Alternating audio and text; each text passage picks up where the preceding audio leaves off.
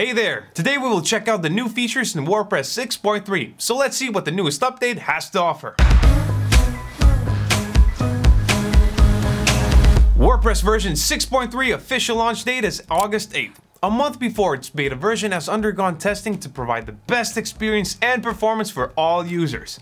WordPress 6.3 enhances the site editor by integrating Gutenberg versions 15.2 to 16.1 into the WordPress core.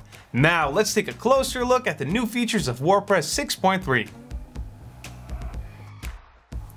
The main goal of this WordPress software update is to perfect the site editor before shifting the focus to phase 3 of the Gutenberg project. Therefore, this release's improvements are mainly focused on the interface and workflow of the site editor.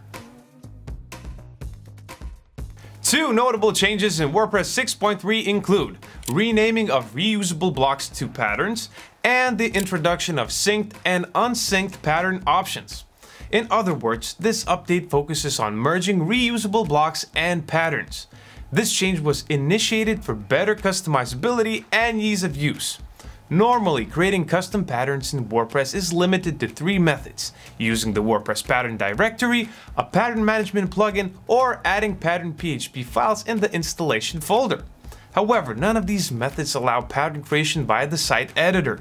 WordPress 6.3 streamlines pattern creation, mirroring the process of creating a reusable block.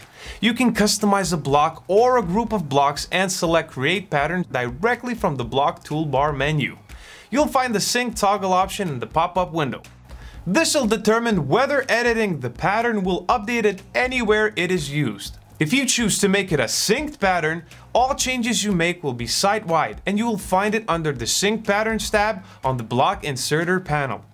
Unsynced patterns are the regular patterns as found in the previous WordPress versions. You can add and edit them on any page or post independently without affecting the same patterns used elsewhere. They are found under the My Patterns category on the Block Inserter panel. This site editor received a substantial makeover in WordPress 6.3. If you use the Gutenberg plugin, you may have noticed these incremental alterations since version 15.2. Otherwise, the revamped site editor offers a more efficient and user-friendly experience. The existing navigation sidebar is now expanded in WordPress 6.3 to streamline navigation between editor components. Previously, it only consisted of templates and template parts. It has several new additions to the menu. Navigation includes links on your navigation block, allowing you to easily rearrange or remove menu items. However, you can't add new links from here.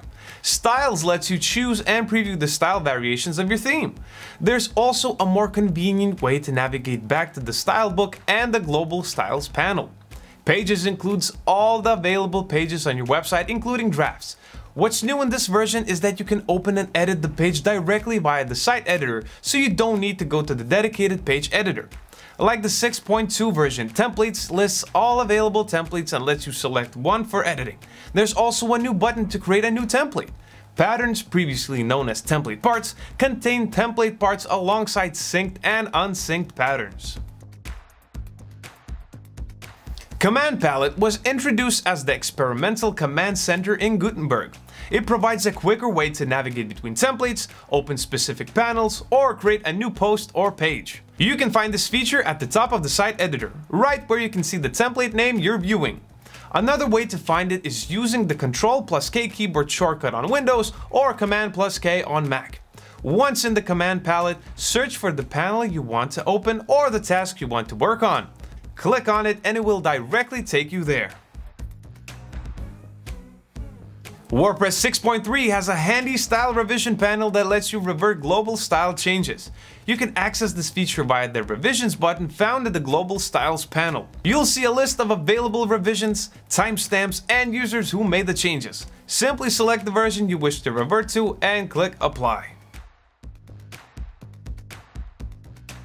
I've already mentioned that you can edit pages directly via the site editor, but what if you suddenly need to edit a page template?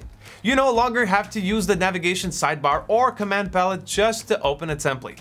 Just open the settings panel and you will see the edit template option at the bottom of the page tab. It will change from the page or content editing mode to template editing. There are also a couple of improvements to the site editor so you can work more efficiently. First, there's a new distraction-free mode. In WordPress 6.2, this feature was only available for the page and post editor when creating content. In case you're unfamiliar with it, the distraction-free mode hides all side and top panels and turns off the block toolbar so you can focus on editing only. Improvements were also made to the top toolbar feature. Instead of adding a block toolbar in an additional level at the top, it will be placed in the same single top panel. This way it doesn't take up a lot of space in WordPress 6.3 display. As with any significant update, WordPress 6.3 brings improvements to blocks, including the addition of two new blocks. The details block comprises a title at the top and a collapsible nested block section. It's handy for presenting densely packed content such as code snippets, product specifications, and spoilers. The footnotes block is useful for adding citations. You can access this block by selecting the text you wish to cite, clicking more on the block toolbar, and selecting footnote it will automatically be added at the end of your content. In addition to these new blocks, WordPress 6.3 offers new customization options, including caption styling for the image block. You can access this feature in the Styles panel to tailor the caption text font, size, and appearance. WordPress 6.3 no longer supports PHP 5 and elevates the minimum supported version to 7. That said, the recommended PHP version remains 7.4 or greater. The WordPress core team considered this following the lack of monitored installations of PHP 5, which led to security and compatibility issues. If you're using Hostinger and still use PHP 5, you can change the PHP version via hpanel. Go to the dashboard's advanced menu, choose PHP configuration, then change it to the newest PHP version. And that's all of the WordPress 6.3 features and changes wrapped up. Leave us your thoughts about the update in the comments section below. Subscribe to Hostinger Academy for more videos about WordPress website development and troubleshooting tips. Thank you for watching and good luck on your online journey.